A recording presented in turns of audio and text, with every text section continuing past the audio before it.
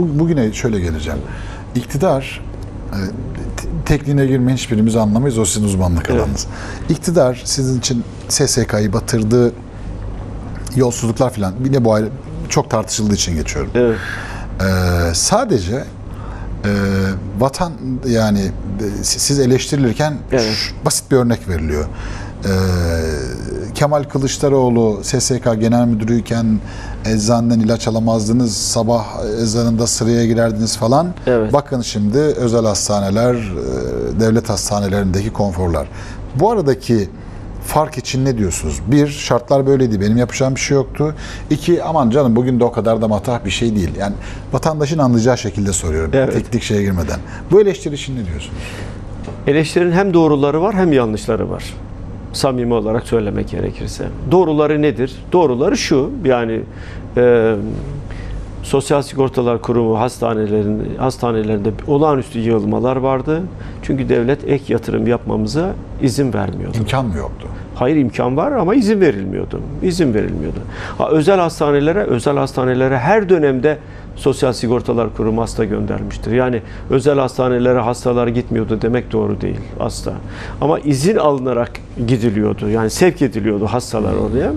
Daha sonra bütün devlet hastaneleri, üniversite hastaneleri açıldı. Kimse sevk almadan e, gidildi.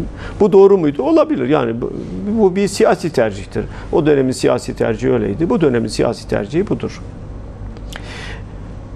Sosyal Sigortalar Kurumu'nda e, şunu ben çok rahat bir şekilde her ortamda söyledim. Eğer bir kurum denetleniyorsa o denetlenen kurumların başında Sosyal Sigortalar Kurumu gelir. Bir sefer sürekli Başbakanlık Yüksek Denetleme Kurulu üyeleri vardır. Sürekli ama. Bütün yönetim kurulu kararlarını alırlar, bakarlar. Başbakanlık Teftiş Kurulu denetler.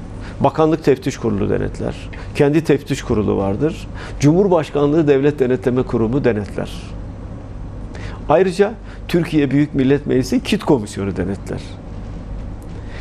Bütün bu denetimlerden şöyle bir cümle Kemal yapılan şu yolsuzlukta Kemal Kılıçdaroğlu'nun kusuru vardır veya şu yolsuzluğu Kemal Kılıçdaroğlu kapatmıştır veya şu yolsuzluğu görmezlikten gelmiştir diye bir cümle çıkarın siyaseti bırakın.